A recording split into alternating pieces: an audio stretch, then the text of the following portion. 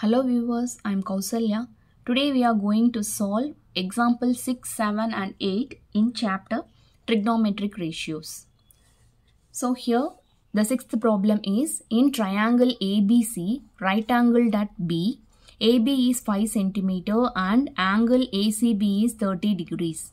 So determine the lengths of the sides BC and AC. So here we are having a right angle triangle, right? And it is designated as ABC. So just draw a right angle triangle, right? It is right angled at B. Therefore, B holds an angle of 90 degrees, right? So here we are writing A and C like this. Again, I am repeating, it's up to you. You can write A here, you can write C here, okay? It will never make a difference. Anyway, you will be getting the correct answer at the end. So here, now I have taken like A, B and C, right? So here you see AB is 5 centimeter. So 5 centimeter and the angle C is 30 degrees. So here we are having 30 degree. We have to find the values of BC and AC, right? So in normal case, we will be provided with two sides, right? So anyway we will be having this side or this side or this side or this side.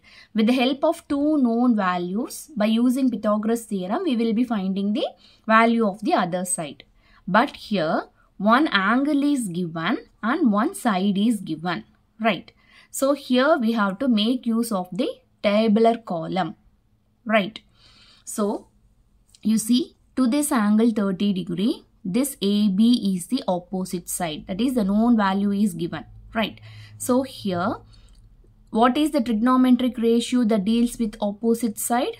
So here it is sine 30. Right. Or even you can use tan 30. Okay. Because tan 30 is also opposite by adjacent. Right. Anyway, it will be right.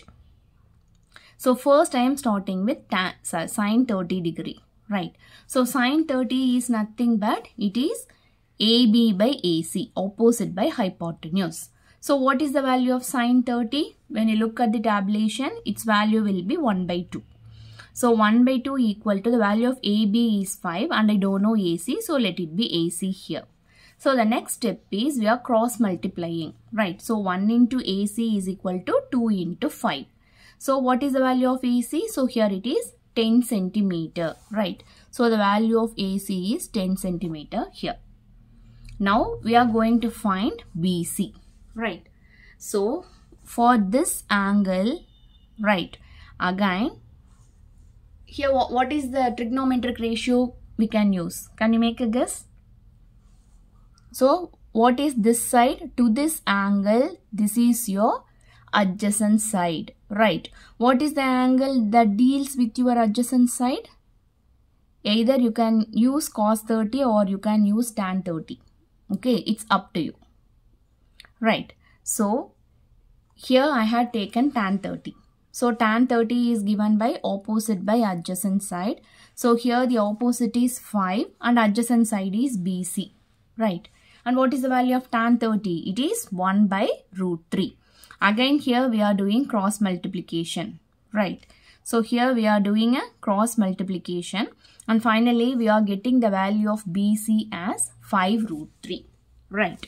So now let me show you by using cos 30 degree how we can find the value of BC, right? So what is the formula for cos 30 degree? It is adjacent by hypotenuse. So when you look at this triangle, what is your adjacent side? It is BC and hypotenuse is AC. Therefore, cos 30 is given by BC by AC. Right. So, now what is the value of cos 30? So, when you look at this tabulation, you see cos 30 degree is root 3 by 2. So, cos 30 degree is root 3 by 2 which is equal to BC by what is the value of AC here? You see, the value of AC is 10. So it is BC by 10. Right. So again just do cross multiplication. So root 3 into 10 is equal to 2 into BC. Right. Therefore BC is nothing but root 3 into 10 by 2. Right. So again when you cancel 2 and 5 Finally, we are getting 5 root 3 as BC. Right. Again and again I am repeating there is no specific rule that you should always solve the problem only by this method. It's up to you. Right. Selecting the method differs. It is unique. Okay. Every individual can take, can solve a problem by their own way. You see, even if you use tan 30, we are getting this answer. Even by using cos 30 also, again we are ending up with the same answer, right? In other words, you see, again we can make use of Pythagoras theorem also, right? So, when you look at this diagram, again AC square is nothing but AB square plus BC square. So, here you see AB square plus BC square. Now, I want BC. So, just rearrange accordingly substitute the values and you see finally we are getting the same answer 5 root 3 centimeter. Right. Okay by any way you can solve the problem. Okay it's up to you. So now we proceed with the next problem. So the problem is in triangle PQR right angle at Q. So just draw a triangle. It is right angle at Q. PQ is 3 centimeter and PR is 6 centimeter. Right so PQ is 3 and PR is 6. So find the angle QPR and PRQ. That is, we have to find the angle P and we have to find the angle R. Okay, that is the meaning. So, here the thing is, you see, we are provided with two sides, right? So, we need to find the angle R and angle P. So, initially we start with angle R. Okay, let the angle B at R here. So what is the formula for sine R? Because we are having two sides and this side for this angle this is your opposite side and this is your hypotenuse. Right. So you see sine R is equal to PQ by PR. Right. What is the value of PQ? It is 3 and PR is 6. When you solve, the sine R is 1 by 2. Right. Now we have to look back at our tabulation for what angle we are having 1 by 2? That is for in sine term, for what angle we are having 1 by 2? For 30 degrees we are having 1 by 2. Right. Therefore, angle R is 30 degrees. Right. You see, in this triangle, we know the value of Q is 90 degree. And here the value of R is 30 degrees. So, automatically we can easily find the value of P. Right. So you see angle P plus Q plus R that is sum of angle in a triangle is 180 degrees. So we know the value of Q, we know the value of R so just substitute and here it is 120 degree. Therefore the angle P is 180 minus 120 which is 60 degrees. Right. So I believe this problem is pretty simple and it is very easy to solve. Right. So again, the same thing. There is no compulsion that you should always draw the triangle like this. So right angle at Q, we, we, we should never change this. So at Q, you should keep this as right angle.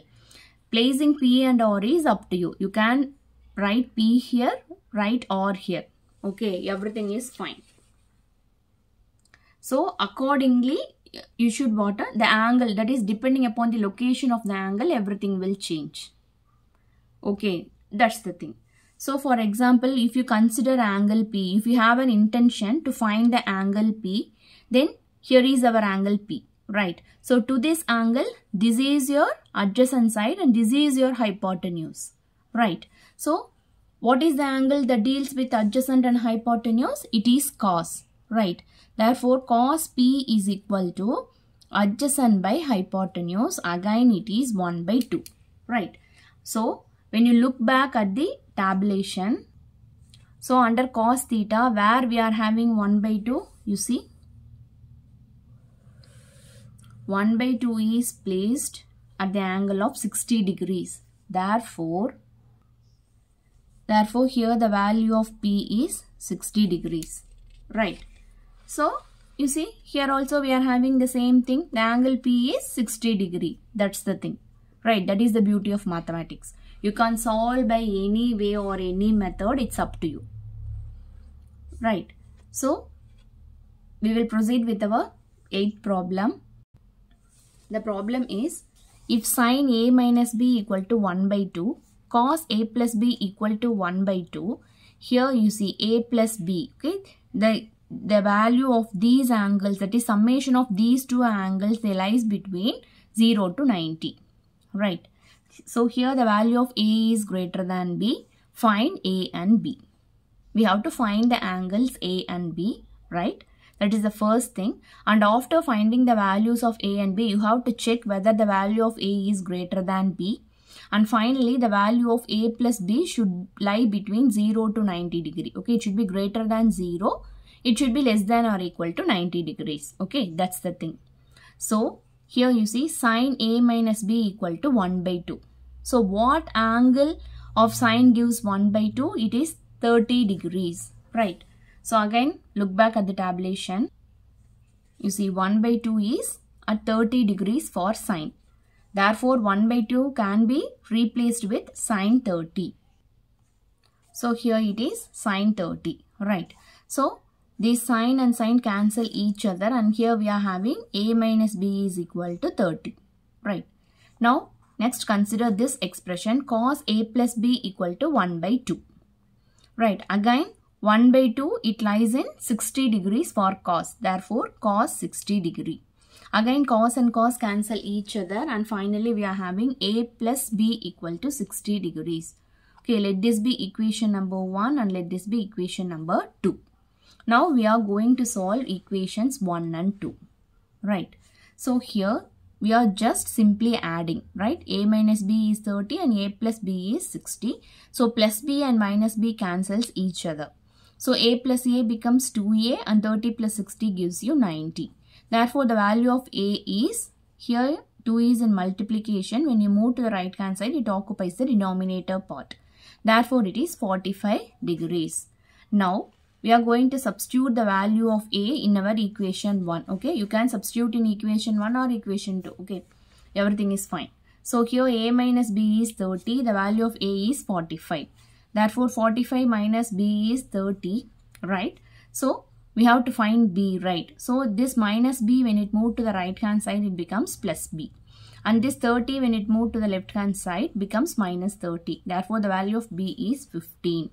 So, here the value of a is 45 degrees and the value of b is 15 degrees, right?